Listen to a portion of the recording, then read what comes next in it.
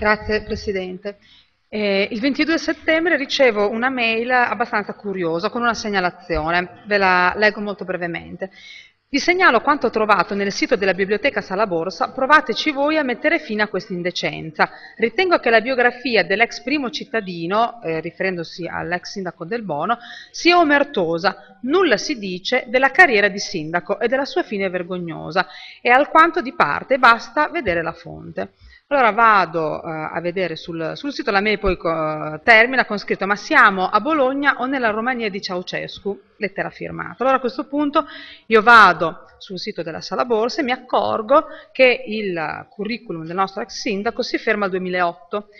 L'unica cosa è che il, il, il curriculum del, dell'ex sindaco è stato caricato, eh, è stato pubblicato a maggio del 2011, quindi c'era tutto il tempo e l'opportunità di poter caricare un, uh, un curriculum aggiornato con, uh, con, le ultime vicende. Quindi decido di preparare un'interpellanza per chiedere appunto spiegazioni, anche perché sul sito della sala borsa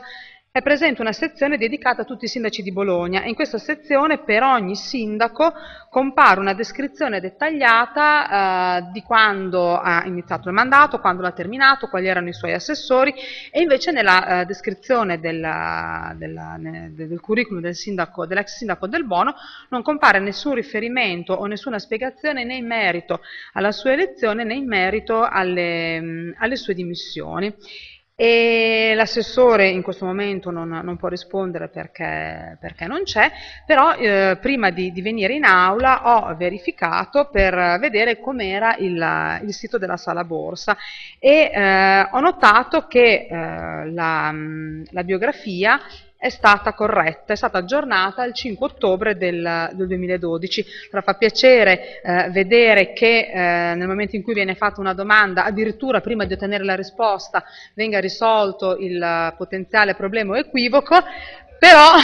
è molto curioso il fatto che l'11 di maggio, del, che, che a maggio 2011, quando venne caricato il curriculum, eh, fosse stato caricato un curriculum incompleto, chiamiamolo così. Sono curiosa di sentire le motivazioni dell'assessore alla cultura Ronchi.